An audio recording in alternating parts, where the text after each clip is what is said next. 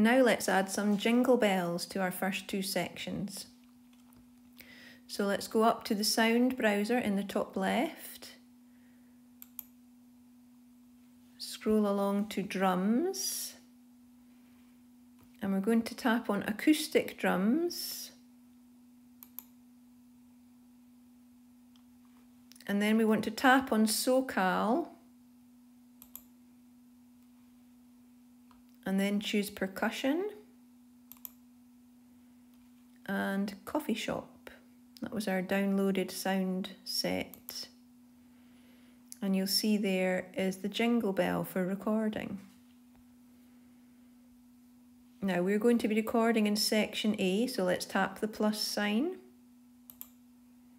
and select section A. Check that your ruler starts with number one and finishes with number four. And then we're going to mute the other tracks so that we can just listen to the click for recording our jingle bells. So up in the top left, we're going to tap the tracks view, the one that looks like the brick wall.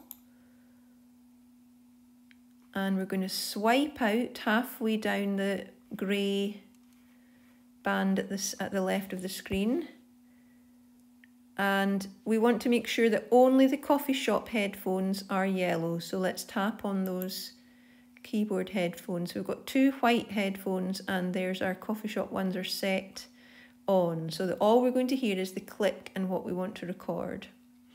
Then we'll go back up to this button here, the third one in in the top left.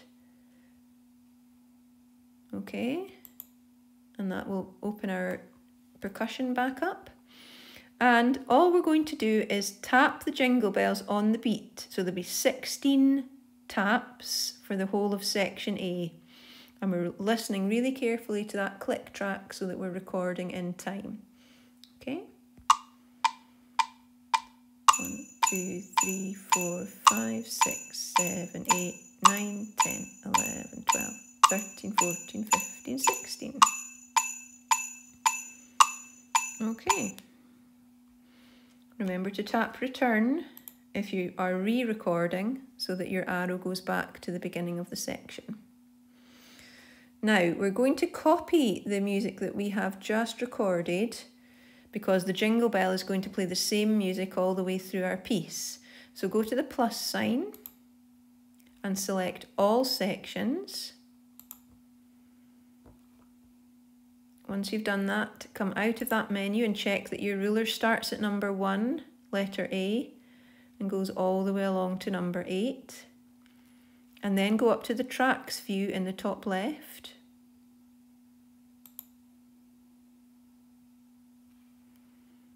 And now we're going to copy this section of coffee shop drum that we've recorded.